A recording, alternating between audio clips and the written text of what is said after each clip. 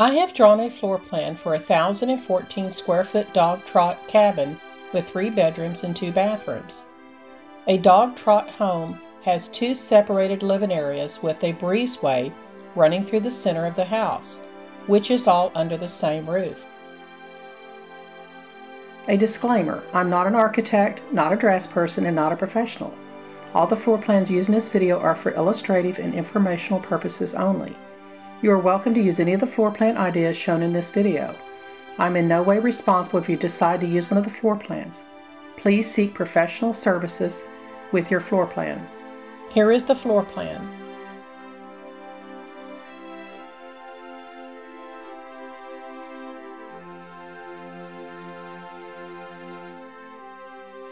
The floor plan reversed.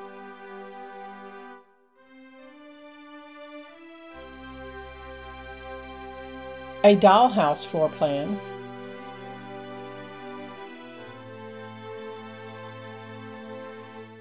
Here is an animated walkthrough of the inside of the cabin.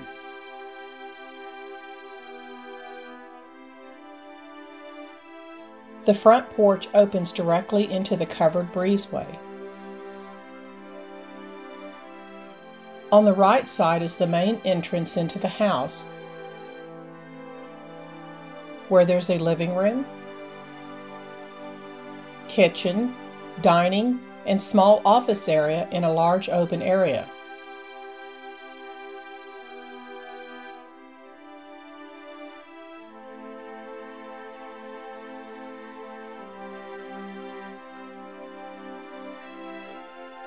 Here is the master bedroom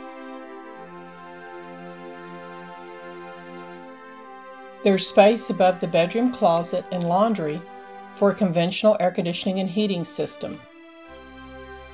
The laundry room with a short water heater tucked into the corner. The main bathroom.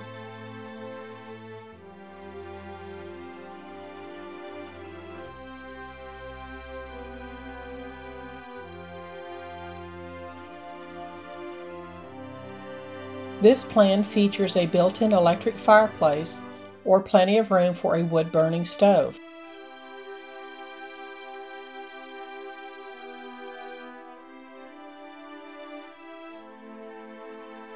Walking across the breezeway to another living area that houses two bedrooms and a bathroom. Bedroom 3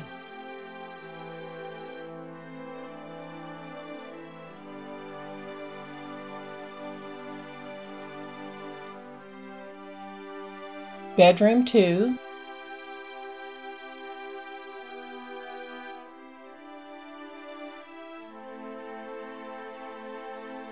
the hall bathroom. There's plenty of space above the bathroom for a conventional air conditioning and heating system and a water heater. Here are some more pictures of the dog trot cabin.